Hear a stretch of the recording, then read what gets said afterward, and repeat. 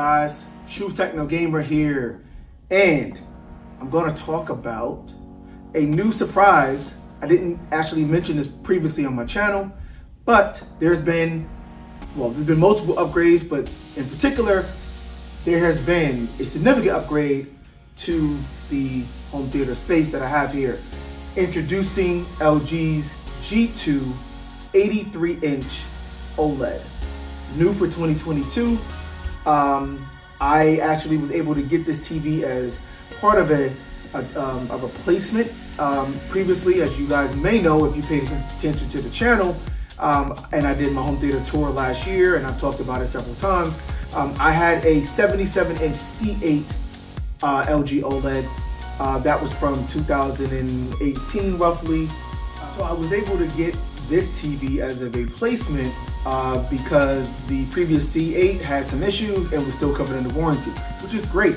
I didn't have to pay full price and I was able to get a meaningful upgrade. So LG's G2 is their top of the line OLED TV for 2022 and it's an awesome TV. So I'm gonna talk about it and I'm gonna tell you guys pros, the cons, what I like about it. I'm not a professional reviewer. I'm not gonna do any measurements or anything like that. I'm just gonna have a conversation with you guys. I'm gonna show the TV a little bit. I'm gonna talk about the picture quality, talk about the interface, and then just talk about my overall impressions. Uh, in short, um, the one-liner review for this TV is simply that the LG G2 represents the absolute pinnacle of LG's OLED technology.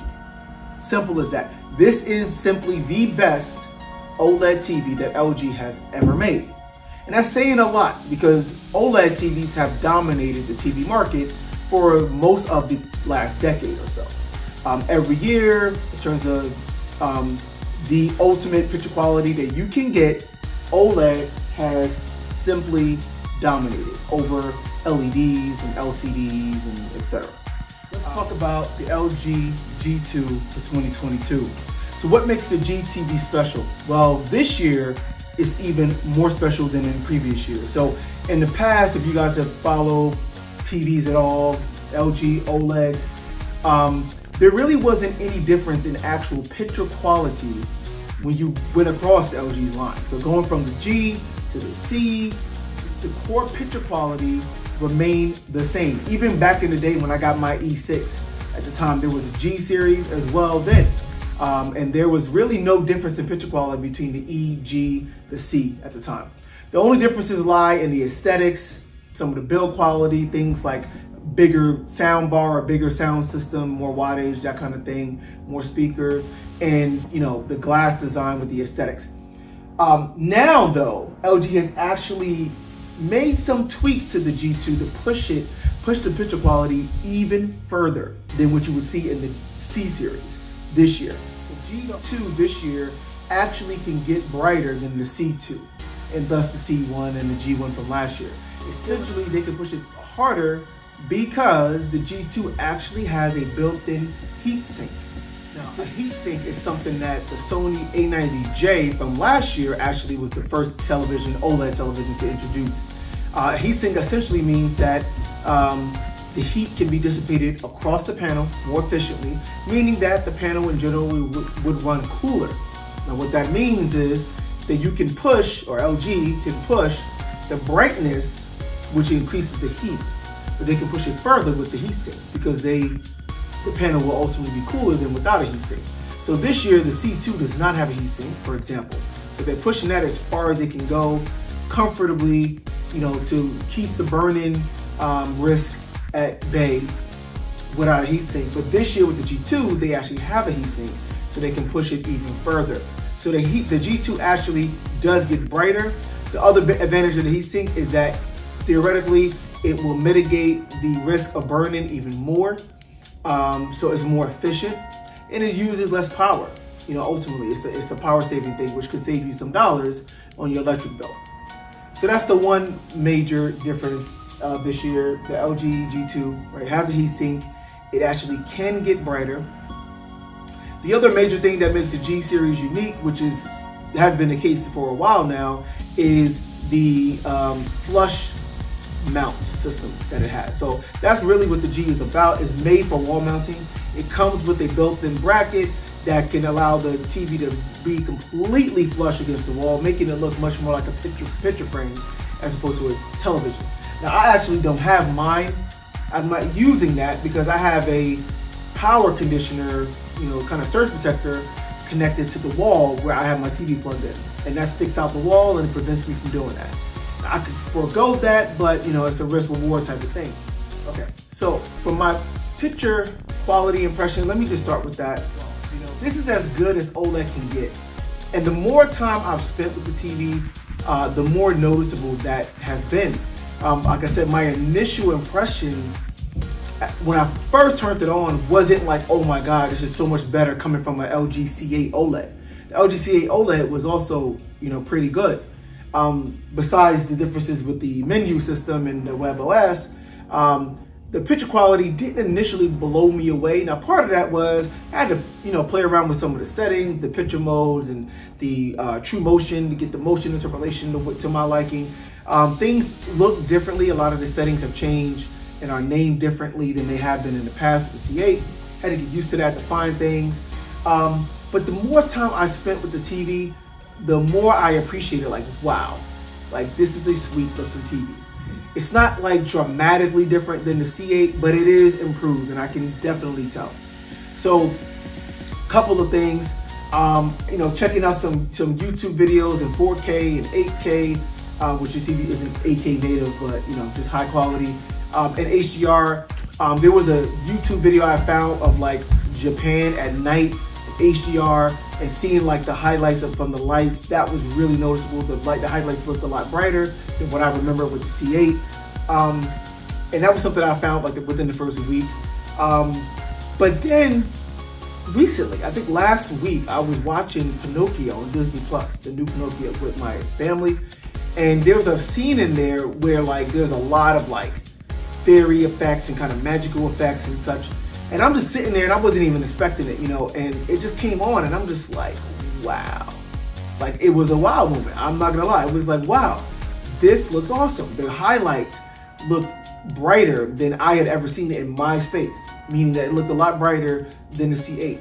Now I've been watching a lot of stuff on the TV, but that stuck out for some reason. It was like, wow, okay, that was awesome. I don't, you know, it was awesome.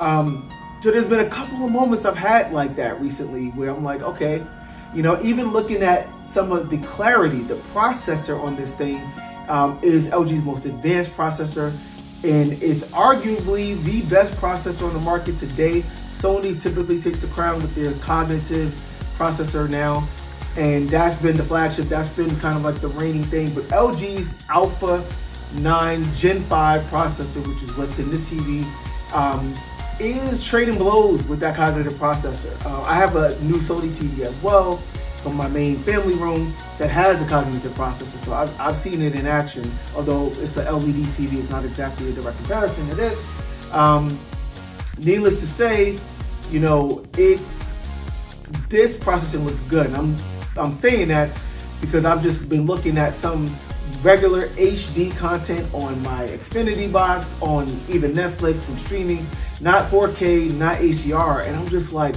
it the you know I'm looking at interviews. I was looking at a World War II documentary on on Netflix, and um, HD, something that was made like circa 2011, 2010, nothing new, but the interviews with the with the people, man, did they not look like their faces, and it just looks super super clear. It was super clean. It looked 4K. It was hard to believe that it wasn't 4K. Um, that's the processor. And that looks something beyond what I've been used to from the C8 for sure. I could also see that difference with the processor with games. You know, this was the most exciting aspect of getting this TV. And um, again, to be honest, initially, I didn't know what to make of it. Uh, it's weird, it's hard to explain. It didn't look bad, but I was trying to look for, you know, did it look better? And there's a lot going on here with the gaming aspect. Um, and my initial impression was like, I don't know. Okay, let me just give it more time. I don't know. Uh, it looked a little bit more vibrant, but it wasn't anything that stood out to me, I guess. And again, over time and playing more games and having a chance, one thing that happened is I actually went back and played, um, a, uh, I think it was Spider-Man Remastered on my PC. Now, I have a work I have a work PC and a personal PC. My work PC is pretty beefy. Um, it, it, you know, I have like a 3080 card in there and a 4K monitor at 60, 60 hertz. So I'm playing Spider-Man on there, and I've obviously been used to playing Spider-Man here on the PlayStation 5 on, on this TV and the C8 before it. And I was just like, wow, it looked really rough.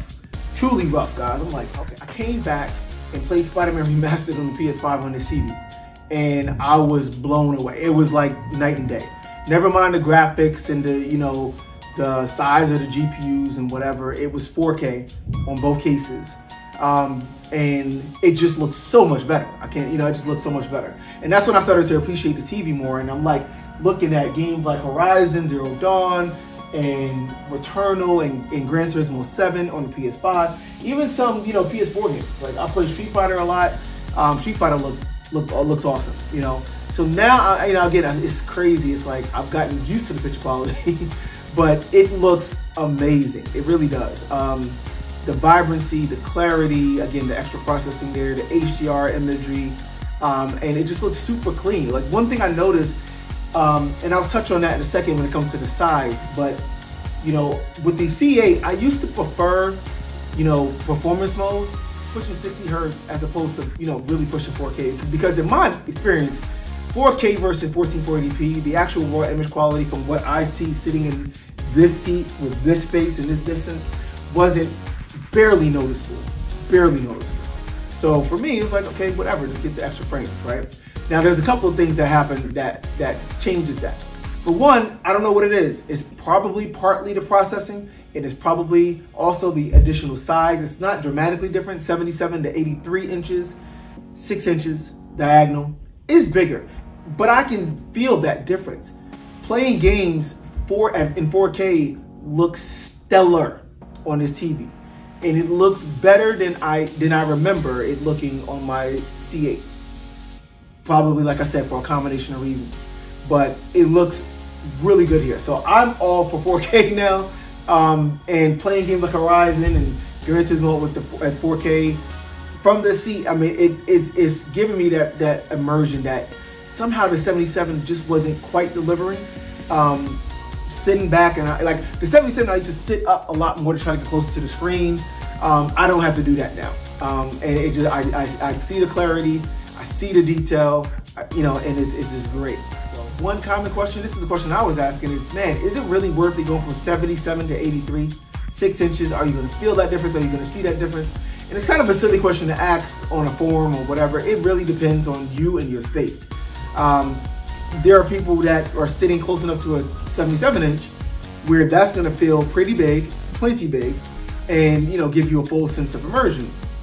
In this space, these chairs are roughly 12 feet away from the TV. That's pretty far. I mean, it doesn't, when you look at it in person, it doesn't look that far, but you know, the whole chart of being able to tell the difference of resolution and whatever. Um, 12 feet, yeah. I mean, I, I for a 4K screen to really appreciate 4K versus 1080p, I really should be something closer to like 110 inches according to the chart. But 83 is still a sizable size TV. And again, I can feel the difference now. It does feel better. I can notice it a lot better. Um, I, it's more enjoyable. Is it really worth it? That's a question for you to ask. Um, the price delta does jump up dramatically going from 77 to 83. So for six inches, you got to pay several thousand dollars more, which doesn't make sense. Um, going from 65 to 77, which is a 12 inch difference, is a lot smaller. So the price, you know, the price per inch uh, is not in the favor when you get to the 83. I will say that. Um, if you're, you know, looking for the best value, the 83 honestly is not that. But like I said, I got this as a, a trade-in or as an, a replacement, so I didn't have to pay full price. So for me, I was trying to go as big as possible, um, and it, I feel it in this space, right? So if you can, if you have the money, go as big as possible. That's that's the general rule of thumb. Go as big as you can for the money that you you know what you can afford. For me now, 83 inches is at this point the largest OLED TV on the market between Sony and LG. There is a new 97 inch G2 that is just now coming out. Um, I'm salivating just at the thought of it. It's an awesome, that would be an awesome, awesome thing.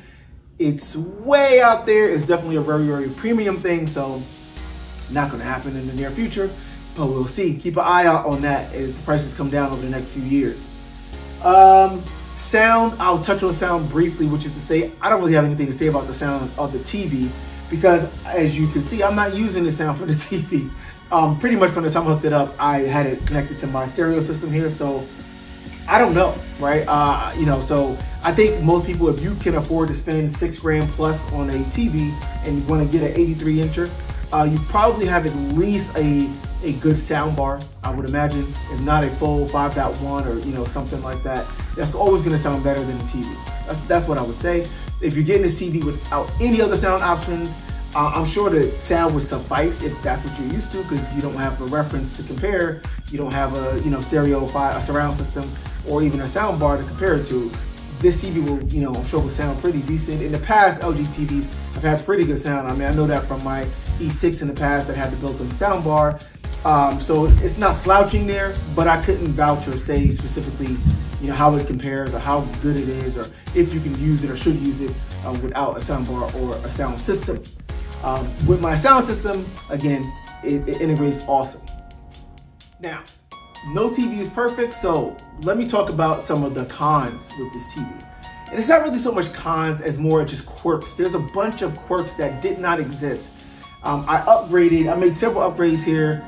Um, I got a new processor, I got the new TV, and you think you get the latest and greatest things that work better, and, and, actually that's not the case. Things worked a lot smoother with my older Marantz and the older LG. Uh, some of that may be due to the Anthem processor, and I'll talk about that in another video. But in this case, there are a couple quirks with the, with the, with the LG. Most of my issues with the LG have to do with interface things, UX, user experience things. Um, the one big bane that I have checked and does, there doesn't seem to be a good solution for, there is an issue with the 83 inch TV especially, where it requires you to actually turn on or press the power button twice in order to turn it on. Sounds pretty mundane, but it's annoying as hell, to be honest. And it's not it's not just that you have to press it twice. Not, not like you go click, click. It doesn't work like that. You gotta go click, wait about five seconds, right? And then press click again. It just breaks a lot of the experience. So for one, when my wife and my kids wanna be down here, they're used to being able to just come down here. With the old setup, they can literally take the TV remote, the LG remote, press power, and the TV would come on and everything, everything else, my amps, my processor, my subwoofers, everything else would just turn on automatically. So they have the surround sound from the system coming out and the TV is on. One click of a power button, that's it. That doesn't work now. Uh, it takes two clicks. They have to get used to that. That was an adjustment period. But even when they do that, the second quirk is that the whole handshaking and, and, and interfacing between the TV and my Anthem processor is not very smooth. Um, so the whole like HDMI linking, which I tried to enable, which means you turn on the TV and it should trigger the processor, which should then trigger everything else. That only happens now, I would say maybe, it's actually improved since I first got both pieces. I guess some firmware updates on mostly on the Anthem side, it probably helped. Um, but it only happens like maybe 50% of the time at best. Maybe more like one out of four times that it actually triggers it on. So again, it breaks that whole experience. When my kids want to come, they're like, Daddy, I, I can't turn on the TV, it doesn't work. Right, because they pressed it once and it didn't come on, they didn't know what to do. And then I they pressed it again and it did come on, but there was no sound because the processor didn't come on. So it's just one of those quality of life things. But again, everything worked 100% of the time before with my older equipment, right? So just think about that. Now, you know, I'm used to it a little bit, but it is annoying, right? The other part of that whole HDMI, you know, uh, link is that not only does it not trigger the Anthem to come on, but even when it does trigger the Anthem to come on, it typically doesn't actually respond to the correct input. So with the old Marantz, if I turn on the TV, the Marantz will come on and it will come on the previous input that I was watching, right? So if that was TV for cable, let's say cable, and I switch it to the game, when I switch it to the game via the TV remote, the Marantz automatically switch to the game input so I can get the game audio. That doesn't happen here. It doesn't happen. Uh, it happens sometime when I switch to the game, sometime. Um, but if, I, if I'm in the game and try to switch back to the TV cable or back to the Blu-ray player, doesn't happen at all. So I have to go and use my uh, Logitech, which I still have these ancient things, but my Logitech Harmony remote, which has activities, that still works and that can, you know, turn everything where it needs to go. But it used to be a lot simpler and smoother when everything was automated. Everything happened automatically. So hoping that Anthem slash LG, you know, with firmware updates continue to make that process a little bit better. But it's, it's just really not ideal. Not a deal breaker, but not ideal. Um, the other major quirk I have with the TV, again, has to do with the interface. There's a lot of like little things, simple things that used to be really accessible with the older LG and the older WebOS that is just so buried now. Um, it's ridiculous, right? so one thing it was looking for the serial number, trying to find that is buried in like four levels of the menu system, and it's not very intuitive. Another bane has been the screensaver. So in the interest of, I guess, preventing burn-in, LG has the screensaver automatic and it comes on with like literally like in a minute or 90 seconds. If there's no input, like right now it's on the game uh, and I had to switch it, I had to actually stop this video multiple times because it kept switch swapping to the screensaver and I switched it to the game input. Um, but if you just don't have an input, if you go to the LG Home, if you go to like a streaming app or whatever, within 90 seconds, 60 to 90 seconds, the screensaver is coming on. Like, and there's no way to disable it, which makes sense. I guess you don't want to necessarily disable it, but there's no way to extend the time or anything. There's no timer. There's no setting whatsoever. They removed it. Apparently, there was a setting in some older versions. They removed it. Um, so I've been looking for that, and it just took me forever to try to find that out. And apparently, there is nothing there. Um, so that was like annoying. But things like you know, um, there is an option to actually turn the screen off. So one thing that I used to like to do is, you know, sometimes just go into music mode and listen to music. and one thing I had with the older TV is I would go to an input and let the screensaver come on. The screensaver was the fireworks, uh, which this TV has, but apparently it gets disabled once you log into the LG account or something. I've heard, uh, and there's no way to re-engage it or re- re-enable it unless you just do a full factory reset. How silly is that? So you can't control the screensaver, you can't set the screensaver. It has a built-in one, it goes away. Now it uses the clock because I have, again, I logged in, so it's connected to the, it's connected to my Wi-Fi and doing whatever. It's just, why? Just silliness, right? But I used to be able to do that. I love the fireworks. It kind of gave me a little bit of light, but a, a nice ambiance, right? To kind of get into the whole like club mode there really is no way to do that. The screensaver that's built in here now is it has an analog clock, doesn't look nearly as attractive. It has, you can use the TV gallery, the art gallery, it has built-in pictures.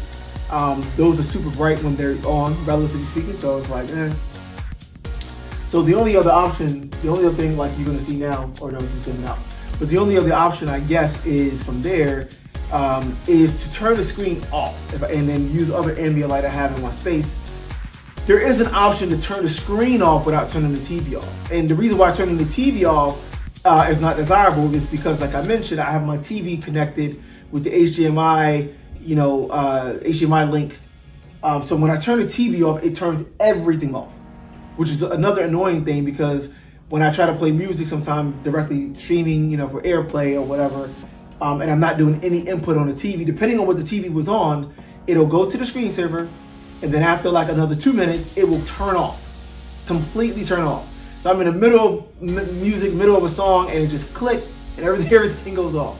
It's just one of those again quality of life things. It sounds simple, it sounds small, but it does. It's disruptive, and it kind of messes with the flow. And this is not something I had to deal with before. Um, so there is that. But I was saying there is an option to turn the screen off, and again, it's buried. It's buried in like a bunch of menus. Um, I can show you here real quick. If you hold down the settings button, uh, you could go to general, I think it is. Very the settings, not intuitive at all. It's taken me, literally it took me like three minutes to, to find it and I've found it before.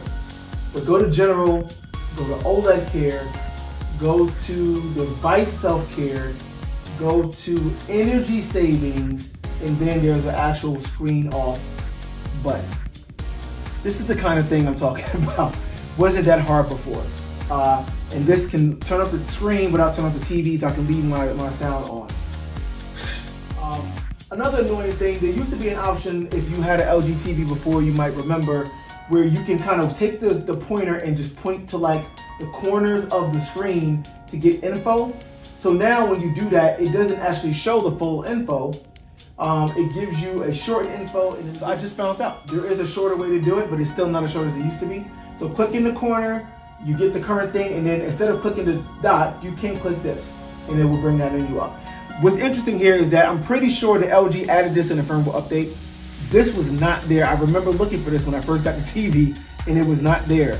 Um, and I was like, why would they get rid of that? So maybe they re-added it, which is a good thing. Um, so it is there. It's, it's, it's not as intuitive, but it is there. So yeah, there's some perks. Um, the picture quality is great. The game optimizer is great. Um, I need to point out that the 4K 120 and the VRR, the combination of the PS5 now having support for that and the um, TV in the Anthem, by the way, uh, which is a 4K 120, you know, pass through.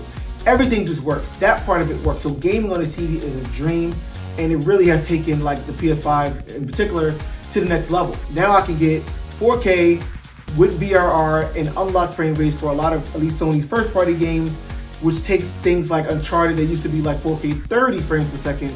And if you really were, you know, not liking 30, um, now you can get 4K 50. Not quite 60, but 50, which feels pretty darn close to 60. So you can get the, you know, the best of all worlds in a sense. Um, and then the performance mode that used to be, you know, uh, capped at 60 now goes up to like 100 FPS. It's awesome. TV supports it, the Anthem supports it, everything works out beautifully. Um, certain games that, you know, like Resident Evil Village was a game that with ray tracing on ran like in the 50s. Now with VRR, it feels smooth and you would not know the difference at all between having a lock 60 and having it run like in the 50s. Um, that's what VRR does um, and, and, it works great. So that part of it is great. The picture quality is great. The processing is great. If you're in the market for a TV that's a larger, a premium TV to give you the ultimate picture quality that is larger than 55 or 65 inches, that's where QD OLED stops. This is to me is the best option bar none. Um, I think it's overall better than the A90J from Sony simply because the gaming experience is better. It has better support for gaming. It has VRR, G-Sync, FreeSync, support. It has four HDMI 2.1 ports as opposed to only two with the Sony. There's other little nuances, but needless to say, gaming is better on here. And ultimately, I think the picture quality is also a little bit better. And you, it trades blows, but it does get brighter than A90J, that's for sure. Um, right now, super, super uh, happy. Highly recommend the G2. C2 also would be great, but this pushes pushes uh, just a little bit further and has the nice aesthetic and has the flushable mount, which also is is desirable for, for me, at least for my space. So I'm happy. Hope you enjoyed this review and my impressions. And yeah, I'm enjoying the space, man. I wish I just had more time to just, to just lounge out in here. But when I am in here, when I sit in that chair, fire up a game or fire up a movie, it is an awesome, awesome experience. So till next time, True Techno Gamer, please like, subscribe. I appreciate the support. See you in the next video.